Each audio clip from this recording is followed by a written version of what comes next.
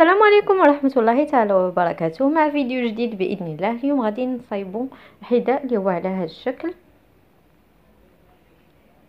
دائما كنحتاجو الموديل غادي نخدمو به. كنطبعوه ونقطعوه. على حسب كنطبعوه على حسب الحجم اللي بغينا. ونقطعو الأجزاء. كنستعملوا عجينة السكر الخاصة بالمودلاج. الألوان اللي حبيتو. هنا غادي ناخذ هاد القطعة. هي كنديروها الفردتين بزوج. يكفي أننا كنقلبوها على الجانب الآخر كتعطينا الفردة ديال اليمين والفردة ديال اليسار. هنا كنردوا الباب ملي كنكونوا كنقطعوا باش نديروا فرده ديال اليمين وفردة ديال اليسار. نبداو التقطيع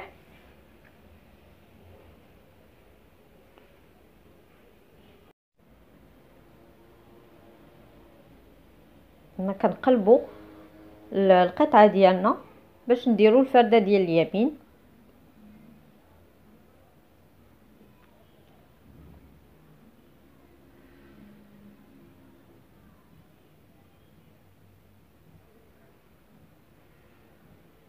ونعدلوا القطعة أكيد نخفيو العيوب.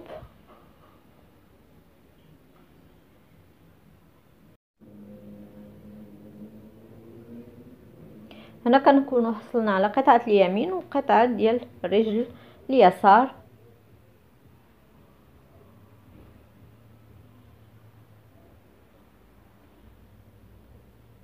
أكيد دائما غادي نقطعوا جميع يعني جميع القطع ديال الحذاء عاد غادي نبداو التجميع. هنا بغيت ندير ليها واحد الشكل من الأسفل يعني الشكل من في الحذاء من الأسفل. غادي نديروا ليها بهذه الأداة أو ممكن تستعملوا آه، عود الأسنان آه، ديروا به هذا الشكل. هو كيعطي جمالية أكثر للحذاء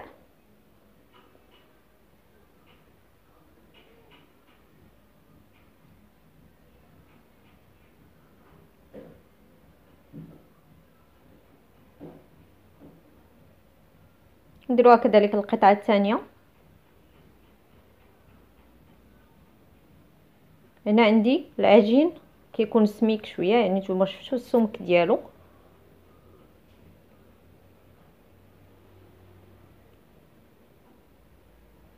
ناخذ اللون الثاني كذلك هي عجينة السكر الخاصة بالمودلاج أو الغام بيست.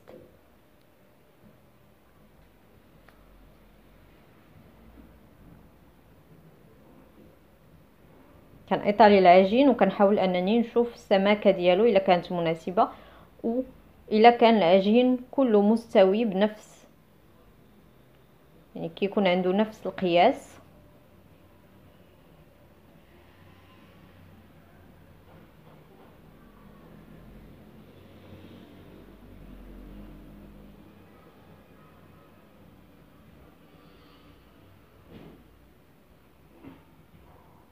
هي ملاحظة أنا ما كنستخدمش يعني ما كنستخدمش النشا أو السكر. السكر اللي كيكون بودرة ملي كنطالي العجين. يعني ما كيحتاجش عندي سطح العمل ما كيلصقش. إنما إلا كان عندكم سطح العمل كيلصق ديروا شوية ديال النشا. شوية فقط يعني كديروا واحد المقدار خفيف واحد الكوش خفيفة ديال ديال النشا باش ما يلصقش لكم العجين. ومن بعد دائما كتحاول أن تكون عندكم واحد الفرشاه اللي كتمسحوا بها العجين يعني كتمسحوا كتزيلوا كاع هذوك الزوائد ديال النشا.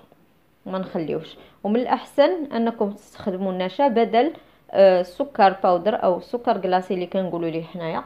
من الأحسن أنكم تستخدموا النشا. يعني ما كيجفش العجين ما كيقصحوش.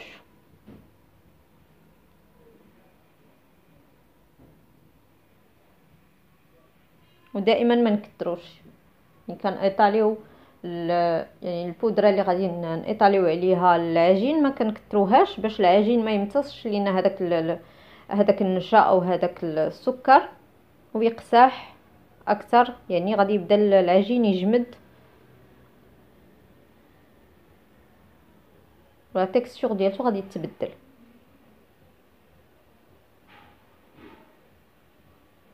إنما عامة عجينه المودلاج ما كتحتاج يعني الكامبيست ما كتحتاج أننا نديرو نخدمو بالنشا من كان ايطاليوها هاتي ما كتلصقش.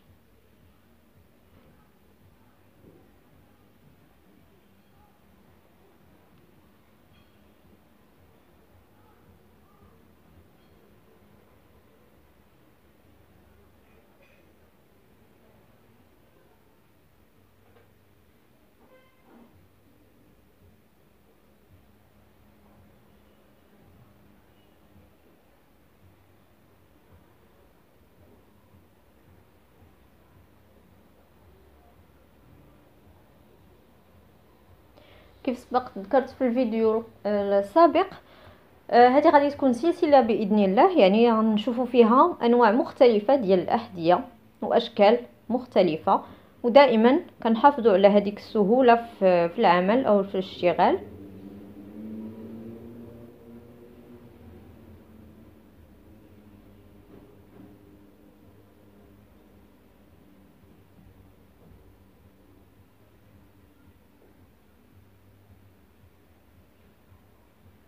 أنا كنت غادي ندير هاد القطعة بهذا اللون وفكرت أنني نديرها بنفس اللون ديال الجزء السفلي ديال الحذاء. قلت غادي تجي أحسن يعني حتى الألوان كيتبدلوا شوية كيتغيروا.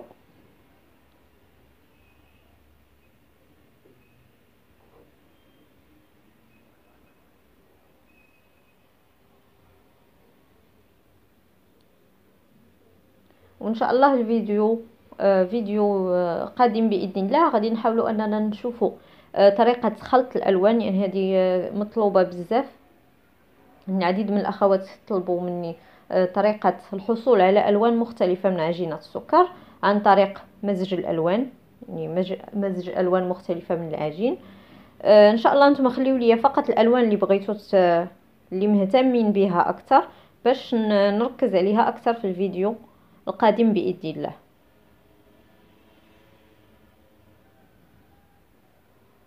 دائما تقطيع الدوائر الصغيرة. كنديروها ب paille آه، تما استخدمت paille كبيرة وهنا غنستخدم paille صغيرة.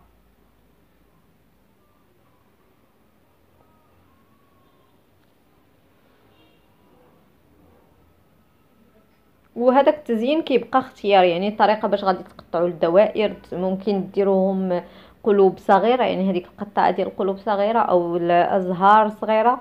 كتبقى اختيارية.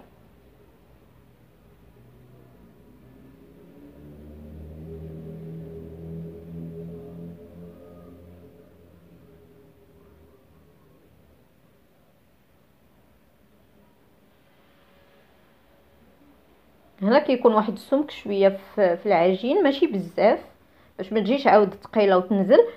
آه، المهم السمك معقول كيف مبين في الفيديو. باش حتى ملي كتنشف كتنشف واقفة.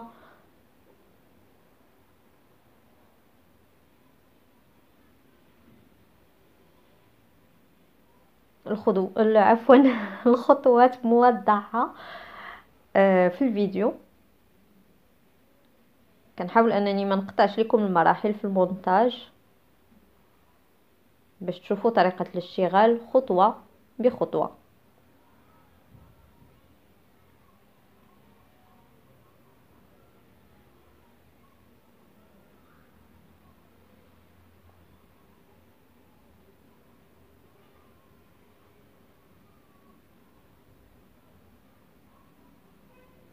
نديرو هذاك الشكل ديال الخياطة.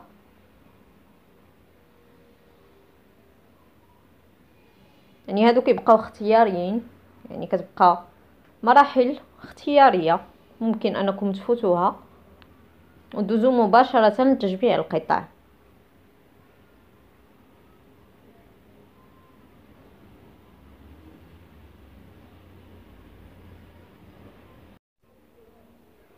ملي كنكملوا جميع القطع اللي عندنا كنكملوا التزيين ديالها هنا غادي ندوزو للتجميع ديال الحذاء. أكيد هذوك القطعتين اللي كيبانوا عندنا باللون الأسود راه قطعتهم بالباي هما اللي غادي يكونوا هذوك اللي بحال دي بوطون أو الأزرار اللي كيكونوا في الجوانب ديال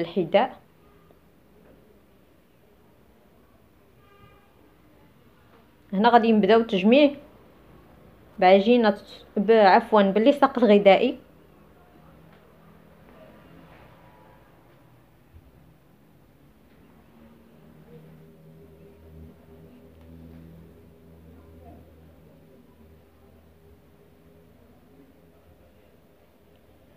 هنا عندي تصوير من الفوق.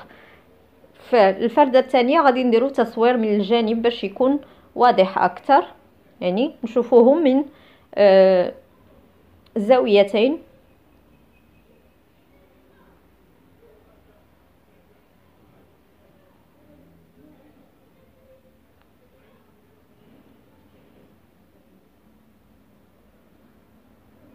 أنا دائما كنحاول أنني نخدم بشوية حيت هاد القطع كيكونوا ساهلين أنهم آه، يخسر ليهم لا فورم ديالهم كنخدموه بشوية. ما أمكن أننا نتفاداو. بعد ما تبت القطعة الأولى ممكن أننا نديرو هذيك الدعامه من الوسط اللي كتكون هي قطعة ديال ديال هذاك المنديل الورقي. آه، كنديروها على شكل كرة ونوضعوها في الوسط ديال الحذاء أنها تكون دعامه هذيك القطعة اللي غادي تجينا من الفوق لكن أنا هنا عندي عندي العجين كيتبت يعني كيبقاش هاد la forme ديالو ما ما يحتاجش أنني ندير آه هذيك الدعامة من الاسفل هنا هاد القطعة قبل ما غادي نوضعها فوق القطعة السفلية غادي نحاول أنني نعطيها la forme هو الأول عاد نوضعها. باش هكا كنتفادى أنني آه منين نبغي نصايبها. نبقى نضغط على هذيك القطعة اللي في الأسفل و وت... يعني تضغط بزاف وتخسر ليها هذيك لا فورم ديالها. من تأكدت من الشكل. غادي ندير اللصاق الغذائي باش يثبتوا القطعتين على بعض. كيف ما شفتي وراه الخطوات سهلة جدا. يعني يكفي أنكم تتبعوا المراحل. هنا بضغطات خفيفة. يعني راكم كتلاحظوا أنني كنضغط غير بشوية باش يتلصق ليا هذاك القطعتين يلتحموا مع بعضهم.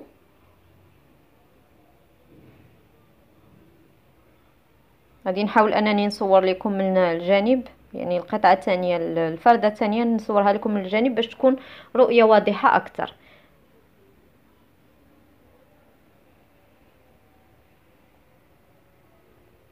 هنا عندي من بعد ما التحم التحموا القطعتين.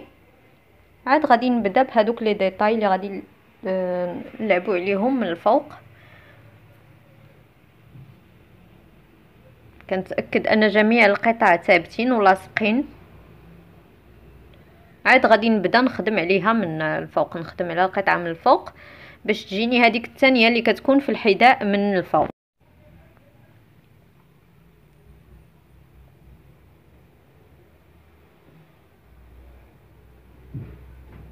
دائما هاد القطع اللي كيكونوا صغار نحاولوا ما أمكن أننا نخدموا غير بشوية بالمهل.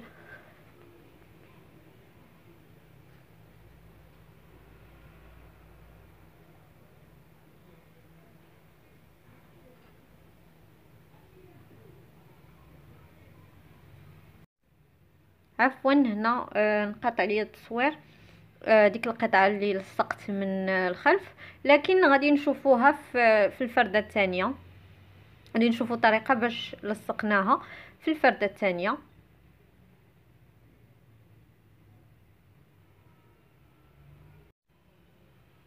هنا خدينا الفرده الثانية. غادي نبداو تلصيق. كنصور لكم بشكل جانبي باش يبان لكم أكثر.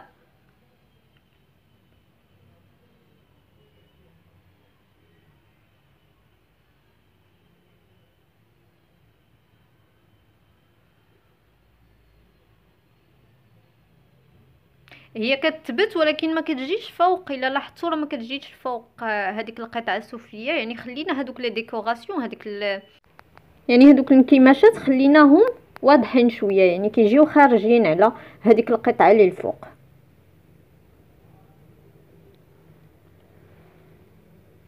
دائما باستعمال اللصاق الغذائي ما كنساوش. يعني أي قطعة كنلصقوها باللصاق الغذائي باش القطعة منين تجمد لينا من بعد يكون الشكل يكونوا متماسكين يعني كاع القطع يكونوا متماسكين مع بعضهم. بالنسبة للصق الغذائي سبق لينا نزلناه في فيديو موضح يعني شرح مفصل طريقة باش كنصايبوه.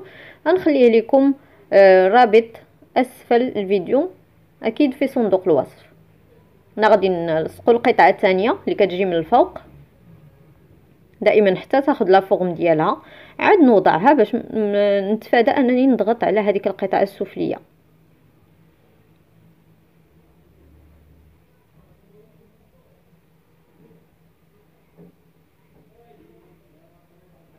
وهنا غادي نثبتها فوق القطعة الثانية.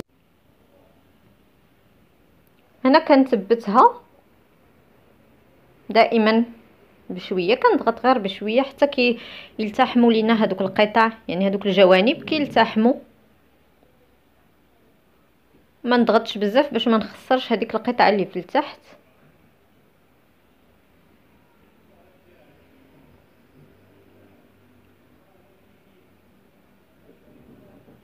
ودائما كنحف كنحافظ عفوا على هذيك هذاك الشكل اللي عندي من الفوق. داك الشكل بومبي كنحافظ عليه. نحاولش أنني نضغط إلا ضغطت غادي تكسر ليا العجين. يعني من الوسط غادي يبداو فيها هذوك التشققات.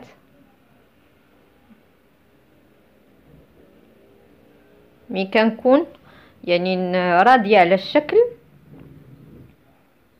غادي ندوز للتفاصيل. نثبتوا القطع اللي مازال عندنا ما ثابتينش وندوزو للتفاصيل أكيد أكيد هذيك ديك الإنحناء اللي عندنا أو الثانية اللي عندنا من فوق الحذاء.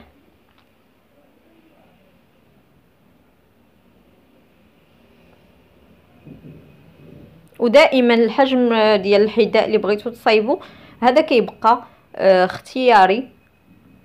يعني نتوما هذاك الموديل اللي غادي تخرجوه أو الموديل اللي غادي تطبعوه كتطبعوه كتكبروه عاد تطبعوه أو كتديروا. المهم الحجم اللي بغيتو نتوما الحجم اللي يناسبكم اللي بغيتو توضعوه فوق الكيك. هنا نكونوا حصلنا على شكل الحذاء من الفوق. وحاولت انني ندير ليه لأن هذه القطعة ديال آه، اليمين. حاولت انني ندخلها من الجانب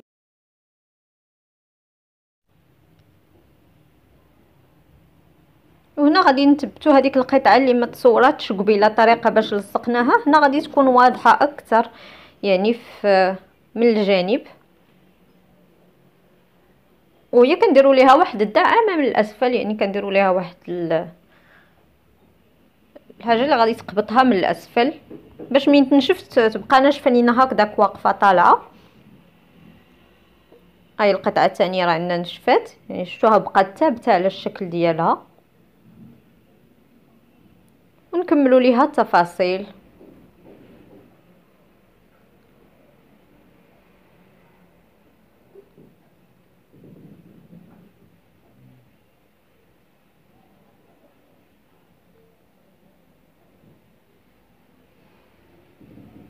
يعني وهذا هو الشكل النهائي ديال القطعتين مع بعض.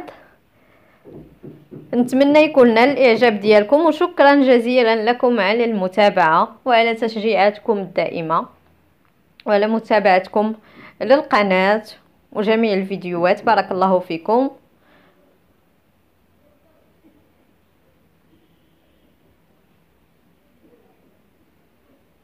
والسلام عليكم ورحمة الله تعالى وبركاته.